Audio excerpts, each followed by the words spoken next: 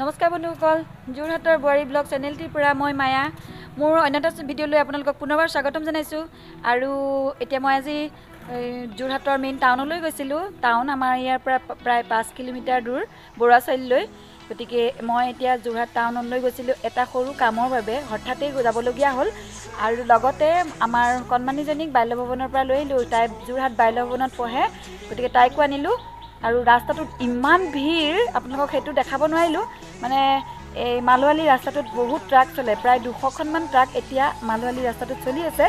সেইবাবে আমি মানে কোনোমতে ভিৰ ফালি ফালি পোন্ধৰ বিছ মিনিটমান লাগিলে আমি আহি পাওঁতে। এই জাষ্ট পাইছোঁহি। সেইবাবে মই স্কুটিৰ পৰা নামিয়ে আপোনালোকক দেখাইছোঁ কৈছোঁ যে মই বাল্যভৱনত কি দেখিলোঁ সেইটো আপোনালোকক দেখাম। সেই ৱালবিলাকত বাল্যভৱনৰ চাৰিওফালৰ পৰিৱেশটো ইমান সুন্দৰকৈ বনাইছে তাত থকা ষ্টুডেণ্টবিলাকে এটা সুন্দৰ সুন্দৰ বন সংৰক্ষণ কেনেকৈ কৰিব লাগে তাৰপাছত পৰিৱেশ সুৰক্ষিত কেনেদৰে কৰিব লাগে পৰিৱেশ কেনেকৈ এইখিনি তাত দেখাইছে এটা এটা সুন্দৰ ছবি আঁকি আঁকি তাত প্ৰস্ফুটিত কৰিছে ছাত্ৰ ছাত্ৰীসকলে সেইটো আপোনালোকক মই দেখাম ইমান ধুনীয়াকৈ ভাল লাগিলে মোৰ পৰিৱেশটো তাৰ। গতিকে মই আৰু তাৰপিছত আপোনালোকে চাব ভাল লাগিলে এটা কমেণ্ট কৰিব লাইক কৰিব। আৰু মোৰ ভিডিঅ'টো আজি নতুন নতুন যিসকল ভিউৱাৰ্ছে চাইছে সেইটো চেনেলটো মোৰ যোৰহাটৰ বোৱাৰী ব্লগ চেনেলটো ছাবস্ক্ৰাইব কৰি দিব। প্লিজ মই অনুগ্ৰহ বাৰে বাৰে আপোনালোকক অনুগ্ৰহ কৰিছোঁ মোৰ চেনেলটো আপোনালোকে ছাবস্ক্ৰাইব কৰি দিব। আৰু কাষতে থকা বেল বটনটো টিপি দিব আৰু অল কৰি ল'ব যাতে মোৰ নতুন নতুন ভিডিঅ'বিলাক আপোনালোকে পুনৰ বা পুনৰ পাই গৈ থাকে। গতিকে আহক আৰু মই লগতে আজি এটা পনীৰৰ ৰেচিপি বনাইছোঁ কেনেদৰে বনাইছোঁ একেবাৰে সহজকৈ বনাইছোঁ সেইটো আজি মই আপোনালোকক দেখাম। মোৰ ভিডিঅ'ত আপোনালোকে প্ৰতিদিনে বেলেগ বেলেগ বস্তু পাই গৈ থাকিব। তাৰ লগতে মই বাল্যভৱনৰ যিখিনি ৱালৰ ছবি পৰিৱেশ প্ৰদূষণমুক্ত কৰা যিবিলাক ছবি আৰু যিবিলাক বন সংৰক্ষিত কৰা যিবিলাক ছবি সেইবিলাক আপোনালোকক মোৰ ভিডিঅ'ৰ জৰিয়তে আপোনালোকক দেখাম। আপোনালোকে এটা সুন্দৰ কমেণ্ট কৰি মোক উৎসাহিত কৰিব। আহক তেতিয়াহ'লে ভিডিঅ'টো চাই যাব। সৰু কাম এটাৰ বাবেহে বজাৰলৈ গৈছিলোঁ যিহেতু। সেইবাবে আমি চাৰে এঘাৰটাতেই যোৰহাট বাল্যভৱনৰ সন্মুখভাগ পালোঁগৈ। সেইবাবে মই তাৰ পৰিৱেশ অকণমান আপোনালোকক দেখাবলৈ চেষ্টা কৰিলোঁ মোৰ ভিডিঅ'ৰ সহায়ত। আৰু চাওকচোন কণ কণ আজিৰ দেশৰ আজিৰ ভৱি কণমানিসকল কালিলৈ ভৱিষ্যতৰ নাগৰিক। এই নাগৰিক দেশৰ নাগৰিকসকলে ৱালৰ সন্মুখভাগত বাল্যভৱনৰ ৱালখনত কি সুন্দৰ পকী ৱালখনত কি সুন্দৰভাৱে তেওঁলোকৰ নিজৰ মনোভাৱ প্ৰকাশ কৰি এটা এটা সুন্দৰ দৃশ্য আমাৰ আগত দাঙি ধৰিছে।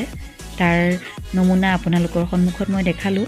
এই ৱালকেইখনৰ যিখিনি প্ৰতিচ্ছবি ছবিৰ সহায়ত তেওঁলোকে আঁকিছে ছাত্ৰ ছাত্ৰীসকলে সেইখিনি মানে মই নথৈ ধন্যবাদ দিছোঁ তেওঁলোকক যিটো ইমান সুন্দৰভাৱে নিখুঁতভাৱে এই চৰিত্ৰবিলাক বন সংৰক্ষণৰ বাবে আমাৰ পৰিৱেশ প্ৰদূষণমুক্ত কৰিবৰ বাবে যিখিনি প্ৰতিচ্ছবি দেখুৱাইছে তাক শলাগ লৈ নোৱাৰিলোঁ।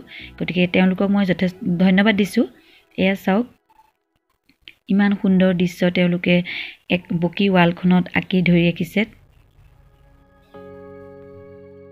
এই কলাসুলভ মন লৈ এই দৃশ্যবিলাক সকলোকে সজাগ দৃশ্যবিলাকে সকলোকে সজাগ কৰি তুলিছে হয়তো।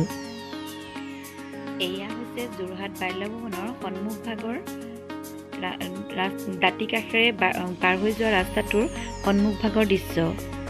তাৰ পাছতে এই যোৰহাট বাল্যভৱনৰ সন্মুখতেই আমাৰ যোৰহাটৰ মিউজিয়াম ছায়েঞ্চ মিউজিয়াম অৱস্থিত। একেবাৰে কাষতেই। সন্মুখভাগত আৰু এয়া মই তাক আপোনালোকক তাক বেলেগ এদিনা দেখাম তাৰ ভিতৰৰ ভাগ দেখাম।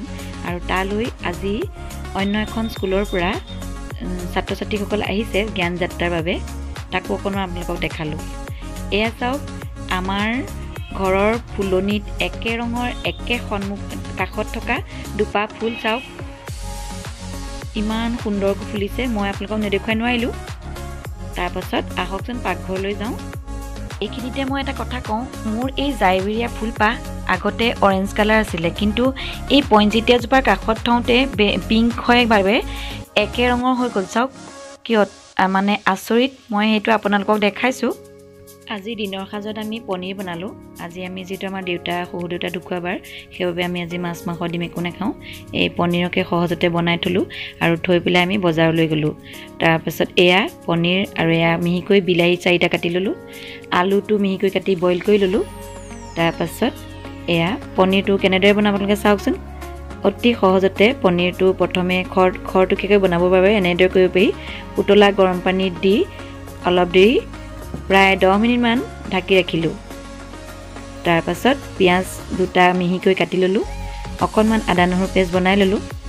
মই তেল কেৰাহীত কম দিছোঁ কিন্তু দেই আপোনালোকে সৰহকৈ দিলে সৰহকৈ খাব পাৰে আমি বেছিকৈ নিদিওঁ। তাৰপিছত পিঁয়াজটো তেলত দি দিলোঁ। আৰু এনেদৰে বনাই সোনকালৈ যাবলগীয়া হ'ল বাবে খৰটোকৈ খৰটকীয়াকৈ বনাই থৈ গ'লোঁ। আমি কিন্তু ঘূৰি আহিয়ে খাইছোঁহি। এয়া তাৰপাছত ওপৰত বিলাহীখিনি দি দিলোঁ। পিঁয়াজটো অকণমান লেৰেলাৰ পিছত আপোনালোকে বনাব পাৰিব। সেইবাবে মই সহজ পদ্ধতিটো দেখাই দিছোঁ পনীৰ কেতিয়াবা বনাবলৈ হ'লে। আৰু মই বিলাহীহে দিছোঁ আলু আৰু বিলাহী। কিন্তু আপোনালোকে মটৰো দিব পাৰিব। মই মটৰ গুচাবলৈ খৰ হ'ল কাৰণে নিদিলোঁ। ৰাতিপুৱা বৰ লৰালৰি হ'ল সেইবাবে নিদিলোঁ। তাৰপিছত এয়া অকণমান হালধি দিছোঁ। তাৰপাছত মই দি বইল আলুটো দি দিলোঁ। দি লৈ অলপ দেৰি তাৰপাছতেই এনেকৈ লৰাই মেলি মই পনীৰটো টুকি থোৱা পনীৰ টুকি লৈ এয়া পনীৰটো তাত দি দিলোঁ। এনেদৰে আপোনালোকে বনাই বনাব পাৰিব। অতি সহজ। চাওক। নিমখো দিলোঁ আৰু অকণমান জ্বলা গুড়ি জলকীয়া গুড়ি দি দিলোঁ। খুব সহজতে বনাইছোঁ বাবে এনেকৈয়ে বনাই থলোঁ। পাঁচ মিনিট এনেদৰে ঢাকি আকৌ বনাই পানীটো অকণমান গ্ৰেভি টাইপৰ কৰি ল'লোঁ পানী অলপ দি। পৰিমাণ অনুযায়ী দিছোঁ আপোনালোকে নিজেই নিজৰ ইচ্ছামতে দিব পাৰিব। মই কিন্তু মোৰ পৰিমাণ অনুযায়ীহে দিছোঁ দেই। তাৰপাছত এয়া খাব পৰা হৈয়ে গ'ল। মই বনাই অকণমান দেখালোঁ আপোনালোকক আপোনালোকে পাৰিব কৰি চাবচোন। যদি মোৰ আজি ভিডিঅ'টো ভাল লাগিছে আপোনালোকে লাইক কমেণ্ট কৰিব কেনেকুৱা হৈছে। তাৰপাছত ধনিয়া অকণমান দিলোঁ দি মেলি আমি পৰিৱেশন কৰিব পৰাকৈ থৈ গ'লোঁ। গতিকে আজি মোৰ ভিডিঅ'টো ইমানতে সামৰণি মাৰিছোঁ বন্ধুসকল পুনৰ লগ পাম। ধন্যবাদ।